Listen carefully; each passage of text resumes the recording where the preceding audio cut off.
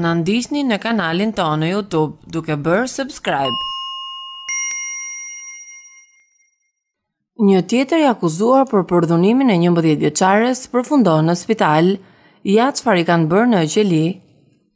Një prej të akuzuarve për përdhunimin e 11 vjeçares në Prishtinë ka përfunduar në spital, ndërsa dyshohet se është dhunuar në qelinë e paraburgimit. Bëhet fjalë për Shkëlqim Kamerin, i cili është filmuar teksa pyetet nga mjeku për dëmtimet që ka pësuar. Video është publikuar në rrjetet sociale me përshkrimin përdhunuesi i 11 vjeçares bëhet me trauma nga të burgosurit.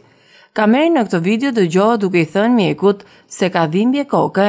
Megjithatë, Shërbimi Korrektues i Kosovës ka thënë se Kameri ka përfunduar në spital, por nuk është dhunuar nga persona të tjerë.